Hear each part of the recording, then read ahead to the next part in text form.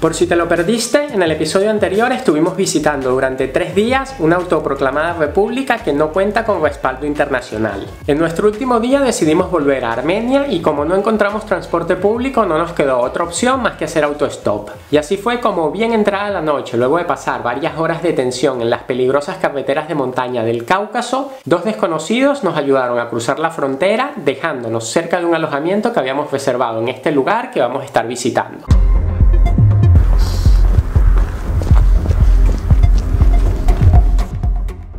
Qué contento que estoy de estar vivo después de esta carretera de la muerte que circulamos anoche súper oscura a una gran altitud, barrancos, de verdad que venía con los nervios de punta y las manos sudadas, pero por fin llegamos a este sitio que no tenía ni idea, no esperaba para nada visitarlo en este viaje y se llama Sevan. Sevan es el nombre del pueblo, aunque concretamente ahora no estamos en el pueblo, sino nos vinimos a conocer un monasterio que está más o menos a unos 7 kilómetros y se llama el monasterio de Sevanabank. Esta mañana de nuevo le apostamos al autostop y nos fuimos a la carretera principal que está casi al lado del alojamiento y después de más o menos 10 minutos paró alguien y nos dejó en toda la puerta del monasterio. Lo más curioso es que Daniela venía hablando con este señor, en ruso por supuesto, y cuando llegamos acá me comenzó a contar lo que nos decía y decía que él estuvo preso, que acababa de salir hacía poco y que quería hacer algo bueno, que por eso cuando nos vio decidió traernos. Un poco gracioso y estamos más o menos a unos 2000 metros de altitud. Hace notoriamente mucho más frío que en cualquier lugar que hayamos estado en este viaje. Debemos estar ahora bajo 0 grados e incluso estaba nevando un poquito esta mañana.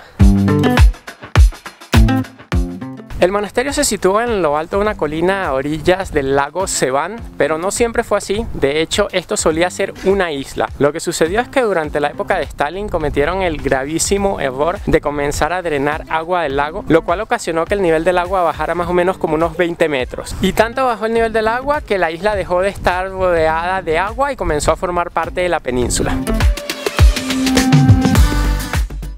Se vuelve un destino súper popular en los meses más calientes del año y se puede ver el lago lleno de barquitos y muchísimas personas vienen aquí a vacacionar y a bañarse en sus playas. Sin embargo, viajeros, ver este lugar cubierto de nieve con estas montañas tan espectaculares no tiene precio.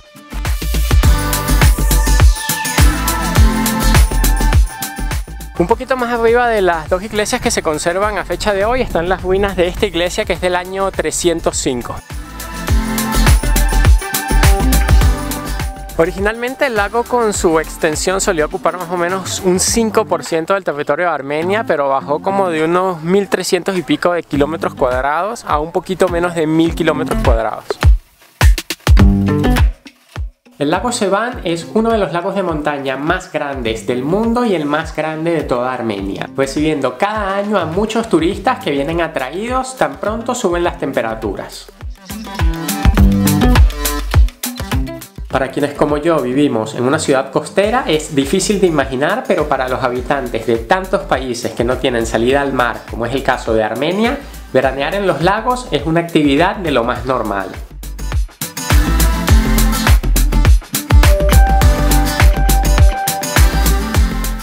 Además, el lago Sevan está a tan solo 65 kilómetros de Ereván, que es la capital del país, lo cual hace que no sea nada complicado llegar hasta él. El monasterio por su parte se fundó en el año 874 y estuvo habitado hasta 1930 cuando el último monje lo abandonó.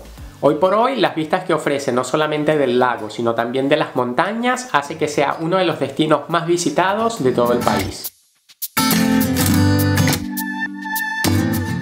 Al acabar de visitar el monasterio conseguimos ahí mismo un restaurante donde comimos y a la salida del restaurante sin ni siquiera pararlo ni nada un señor se estacionó, nos dijo que él nos traía.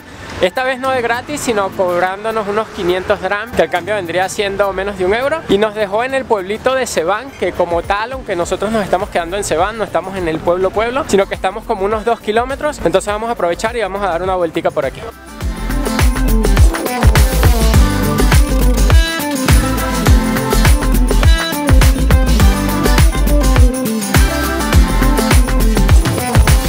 Llegamos a una de las tantas playas que tiene el lago, como pueden apreciar esto es un remanso de paz, lo único que se escuchan son pájaros que cantan y aquí hay varias casas que las alquilan durante las vacaciones y también sillas para tomar el sol.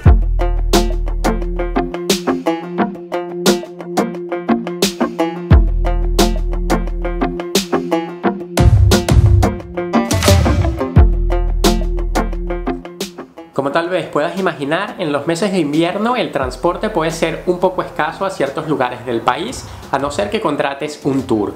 Esa mañana, como no pudimos encontrar transporte hasta nuestro siguiente destino, no lo pensamos dos veces y lo que elegimos fue pararnos en la carretera principal buscando la manera, así fuese de a poquito, para ir adelantando unos kilómetros hasta llegar a algún lugar donde sí pudiésemos encontrar autobuses.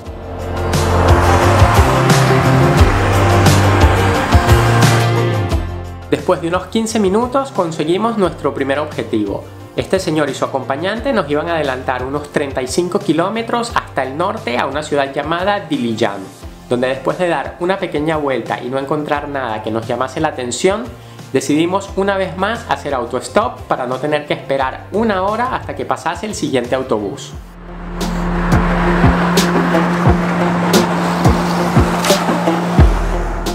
Durante todo el trayecto íbamos pasando por lugares muy bonitos, viendo montañas nevadas y hasta cruzándonos con algunos caballos.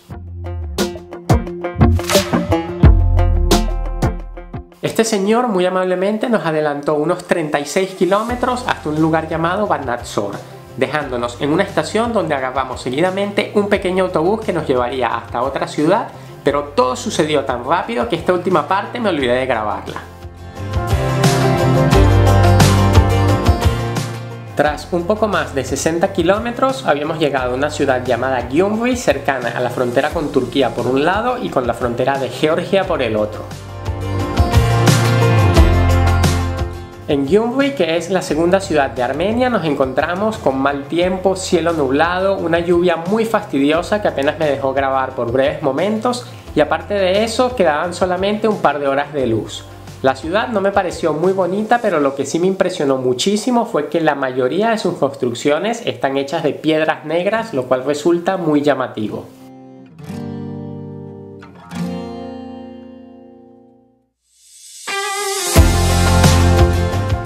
Subimos primero que nada a la parte alta de la ciudad a visitar la fortaleza de Sefbert o Fortaleza Negra que fue construida como consecuencia de la guerra buso-turca de 1828-1829. Fue comprada por un señor que tiene mucho dinero y su familia pretende convertir esto en una atracción turística y supuestamente están realizando ahora excavaciones arqueológicas por lo cual está cerrado y no se puede visitar.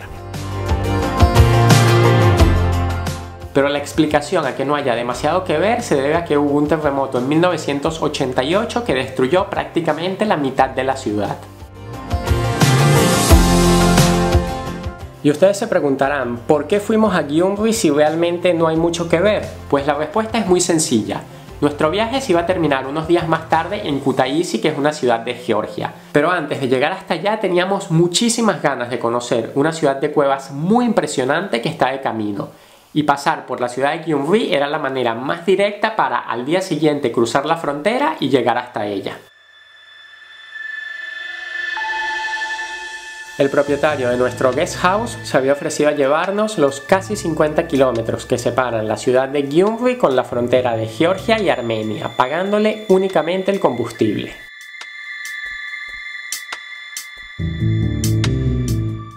Pronto comenzó a amanecer y no tardamos en darnos cuenta de que estábamos transitando no solamente a una de las mayores altitudes de todo el país, sino que además hacía mucho frío y no veíamos ningún vehículo transitando ni por delante ni por detrás nuestro, lo cual podría suponer un problema a la hora de encontrar la manera de seguir desde la frontera entre ambos países hasta Varcia, que es como se llama la ciudad de las cuevas que planeábamos visitar.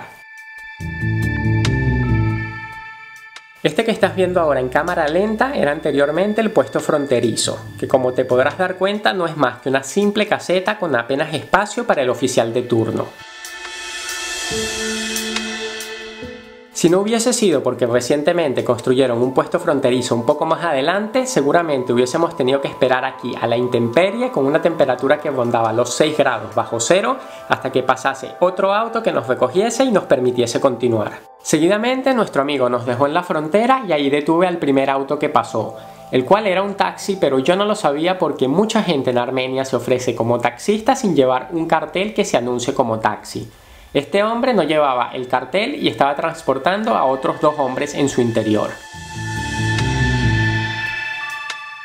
Pues bien, este taxista nos llevó hasta cierto punto cobrándonos muy poco. De allí cambiamos a otro taxi junto con uno de los hombres que iba en el auto. Este hombre resulta que vivía en Rusia e iba a Georgia a pasar las fiestas de Año Nuevo con su familia. Pero como entre Rusia y Georgia no existen a fecha de hoy vuelos y no tiene nada que ver con el coronavirus, sino simplemente es una nueva normativa que puso Putin, pues tuvo que volar desde Rusia hasta Ereván, que es la capital de Armenia para desde allí trasladarse en taxi hasta Georgia. Él tenía que pasar obligatoriamente por donde nosotros teníamos que bajarnos, así que nos invitó a subirnos a su taxi y así fue como llegamos hasta Barcia, que es como se llama la ciudad de las cuevas que queremos visitar.